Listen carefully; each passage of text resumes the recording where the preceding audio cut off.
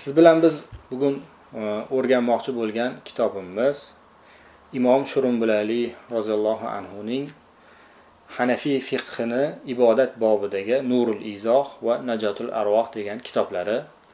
Bu kitob hanafiy mazhabining e, o'sha ibodat bobida asosiy e, manbalardan hisoblanib keng tarqalgan matn kitobi hisoblanadi. Bu kitob fiqh ilmida bo'lganligi uchun fiqh haqida qisqacha ma'lumot berib o'tamiz. Fiqh so'zi lug'atda daqiq fahmni ya'ni bir narsani nozik joylarigacha tushunishni anglatadi. Shariatda esa shar'iy dalillardan far'iy hukmlarni chiqarishga fiqh deb aytiladi. Ya'niki ushbu ta'rifdagi shar'iy dalillar istilohidan asosan qur'oni karim va hadisi sharif tushuniladi. Far'iy hukmlar esa lug'atda aslini teskarisi shoxobcha yoki kichik ahamiyatga ega dalillar hisoblanadi. Shariatda esa ibodat va muomalatlarga ibodat deganimizda tahorat namoz zakot ro'za haj shular kiradi. Muomalat deganimizda insonni nikohi oila qurishi yoki taloq aqiqa yoki oldi berdisi savdo sotig'i ijarasi shular kiradi. Shu ibodat va muomalatlarni o'z ichiga oluvchi hukmlar far'iy hukmlar deyiladi. Shundan tushunamizki fiq degani qur'oni karim va hadisi sharifdan e, insonning ibodati va muomalatidagi bo'lgan hukmlarni bayon qiluvchi fan bo'lar ekan. Fiq ilmi qanchalik sharafli va e, fazilatli va uni o'rganish qanchalik ahamiyatga ega ekanligini batafsil o'rganish niyatida bo'lgan e, birodarlarimiz ustozimiz shayx muhammad sodiq muhammad yusuf hazratlarining kifoya kitoblaridagi muqaddimalardan bahramand bo'lib uni o'rganib olishlari mumkin. Ana endi fiqh ilmini o'rganish hukmini bayon qiladigan bo'lsak fiqh ilmi agar u ibodat bobida bo'ladigan bo'lsa har bir balog'atga yetgan kishi uchun fiqh farz ayn hisoblanadi. Balog'atga yetgan kishiga tahorat namoz ro'za zakot haj qodir bo'lgan kishilarga farz bo'lganligi uchun har bir kishi kishi boshiga farzi ayn bo'ladi o'zi o'zlashtirib o'qib olishligi shart. Endi bugungi e, siz bilan biz o'rganmoqchi bo'lgan kitobimiz e, maroqil falah kitobining muallifining qisqacha tarjimai hollarini zikr qilib o'tamiz. Hanafiy mazhabi faqih faqihi hasan ibn ammor ibn ali abul ixlos vafoiy misriy shurumbilali olim inson. Bu kishi misrning munufiya viloyatining shabro bululi shaharchasida hijriy 994 yilda tavallud topganlar yoshlari oltiga kirganda yoki shu olti yoshga yaqinlashganlarida otalari u kishini qohira misrning e, poytaxti qohira shahriga olib ketadilar. Va u yerda e, qur'oni karimni yod olib va shar'iy ilmlar tahsili bilan mashg'ul bo'lgan hollarda unib o'sib azharda dars beradilar. Zamonasining buyuk faqihlaridan va o'z asrining ulug'laridan bo'lgan nomi mashhur olim mutaaxir faqihlarning eng ulug'laridan fiqhiy qoidayu zobitlarning bilimdoni kitob yozishda qalami o'tkir zot bo'lganlar. Zamonasida fatvo berishga haqli deb topilgan alloma fiqh ilmining mashhur imomi ali ibn g'onim maqdisiy va imom abdulloh nahririy va alloma muhammad muhibbiy shamsuddin hanafiylardan fiqh ilmini tahsilini olgan. Hanafiy mazhabida juda ko'p kitoblar yozgan eng afzallardan biri mulla xusravning duror va g'uror kitobiga hoshiyasi bo'lib bu kitob muallifning hayotlik chog'idayoq mashhur bo'lib hammada ko'pchilikning e, chilikning e, undan manfaat olishida e, sabab bo'lgan kitoblardan hisoblanadi. Va bu muallifning hayoti chog'ida shunchalik mashhur bo'lib insonlar undan manfaat olishi u kishining ilmi qanchalik kuchli ekaniga dalil bo'ladi.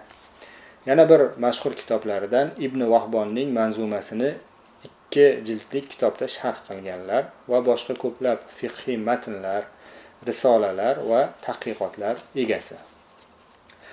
Alloma shurumbo'lali tasavvuf ilmida ham mohir bo'lganlar va ruhiy tarbiya bobida o'zlari judayam katta cho'qqiga erishgan insonlardan olimlardan hisoblanadilar.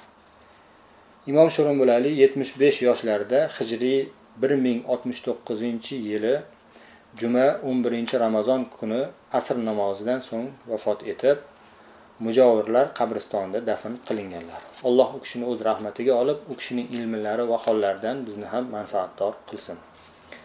Kitob haqida ma'lumot beradigan bo'lsak bu kitobning katta sharhining kirish qismida muallif matnni nomi haqida shunday deydi. Ya'niki kitob E, nurul izoh va najotul arvoh degan matn. Bunga ikki sharh yozganlar muallif. Birinchisi keng sharhi imdodil fattoh deyiladi va shuni qisqartirib maroqil faloh degan sharh ham bitilgan. Shu kitobning asosiy katta sharhining muqaddimasida bu kitobning nomi haqida muallif shunday deydilar. Uni nurul izoh va najotul arvoh deb nomladim. Chunki ilm nurdir va ilmsiz najot yo'qdir. Yana muallif bu matnning maroqil falah deb nomlangan e, o'sha qisqa sharhida e, shunday deb maqtab o'tadilar. Bu hajmi kichik ilmi mo'l hukmi to'g'ri kitobdir. Besh ibodatni to'g'ri bo'lishligini o'z ichiga olgan ya'ni hukmlarni bayon qilib besh ibodat to'g'ri bo'lishini o'z ichiga olgan to'lin oy kabi oydin iboralar bilan yozilgan unda kitob sunnat va ijmodan hukmlarning hujjatlari dalillari keltirilgan. Mo'minlarning qalblariga surur tillari va ko'zlariga quvonch bo'ladigan kitobdir deb bayon qiladilar. Bu kitob ikki tahorat ya'ni ikki tahorat deganimizda katta va kichik tahorat g'usul va oddiy tahorat hisoblanadi. Namoz va ro'za haqidagi qisqa fiqhiy matn hisoblanadi. Hijriy bir ming ellik to'rtinchi yilda muallif kichik sharhini yozganida ularga ya'niki ikki tahorat namoz va ro'za e, kitoblariga zakot va haj umra boblarini ham qo'shib e, besh ibodatni o'z ichiga olgan matnga aylantirganlar. Tahoratni ibodat deb sanashining sababi niyat ila tahorat ham ibodat hisoblanadi va unga savob yoziladi. Nurul izoh matni boshlovchilar uchun hanafiy fiqhida asosiy muqaddima hisoblanib u arab va ajam mamlakatlarining ma'hatlari madrasalarida o'qitilgan kitob. Hozirgi zamonimizgacha keng miqyosda bu kitob e, ma'hat va madrasalarda talabalarga boshlang'ich qismida yod oldiriladigan e, matnlardan hisoblanadi. Kitobning tartibli taqsimlangani va chiroyli iboralari bilan aniq hukmlar bayon qilingani buni keng tarqalishiga sabab bo'lgan.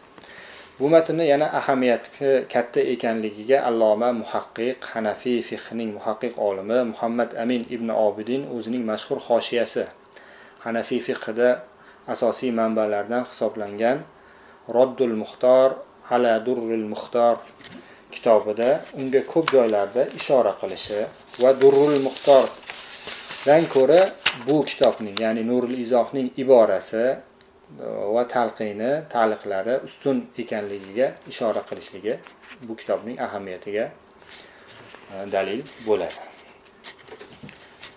Endi hozirgacha bayon qilgan hukmlarimizni biroz qaytarib jamlab olamiz.